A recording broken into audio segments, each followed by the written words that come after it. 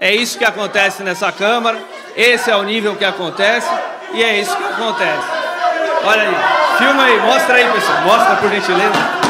Mostra. Vamos lá, vamos lá.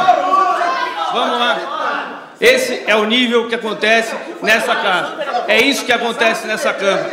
É isso que acontece nessa Câmara.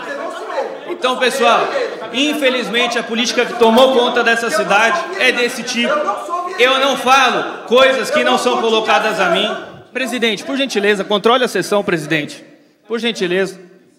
Por favor, senhores vereadores, mantenham a calma. Quem fala tem que escutar depois. Fala o que não quer, ouve o que não quer. Senhores vereadores. Saúdo aqui ao presidente, ao secretário Fábio Mendonça, que sempre respeitosamente dirigiu as palavras a mim. Senhores vereadores, E por Tem pessoas gentileza. boas na base, na oposição, em todos os lados. Eu peço que o próprio secretário instrua os vereadores